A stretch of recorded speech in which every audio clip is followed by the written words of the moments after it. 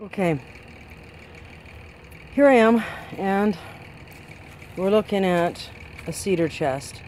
And as you can see, it's uh, really dried out. I wiped it off with a damp rag, and I used a magic sponge to get some little um, scuffs and drips of paint off of it.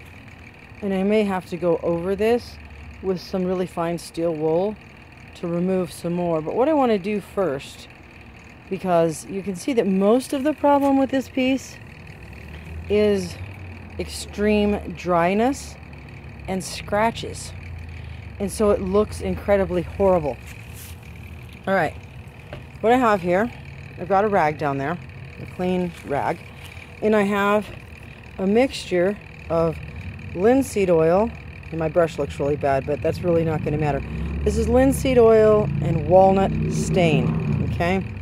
And I'm just going to try to get this piece looking a little better. So take a good look at this and let's see if we can improve this. And I'm going to pause this for a minute and I'm going to brush this over with this mixture.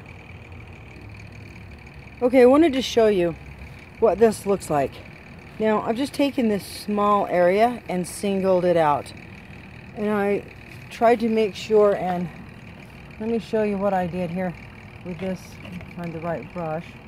So one of them's kind of stiff. I just made sure that I went in the direction of the grain. What I want to do is get this oil in this mixture to penetrate the grain as much as possible. And I want the oil to soak in. And I'm not really trying to get a lot of color but using the color to cover up the scratches because without the color I'm not going to get the scratch coverage that I would get with just the oil. It will certainly affect the piece but I certainly wouldn't get the the scratch removal that I would would get with the color. Okay, so now what I'm going to do is take this rag, okay, and I can let this sit a little longer and get just a little bit more color out of it. But I'm going to wipe this and just show you what happens in this particular situation so you can see the difference. Okay, now look at that. Now you've got a completely different piece here. This is compared to what you've got here.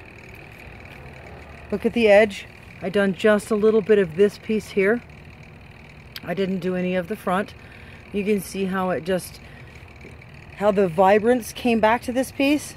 Okay, so what I'm going to do is I'm going to continue to do this to this entire piece, going over areas as necessary. And if needed, I will add um, a little bit more stain to the mixture if I come across an area that seems to need like a little more scratch coverage. Maybe over here where I've got some deeper scratches and I will just continue doing this until I've brought the vibrance back to this piece. After this has had time to penetrate, then I can go over this with some furniture wax and seal it in and rub it really good and buff it and it'll give it a nice fresh shine. All right, so we'll come back and show this piece again in another video. So stay tuned, subscribe. Thanks for watching. Have a great day.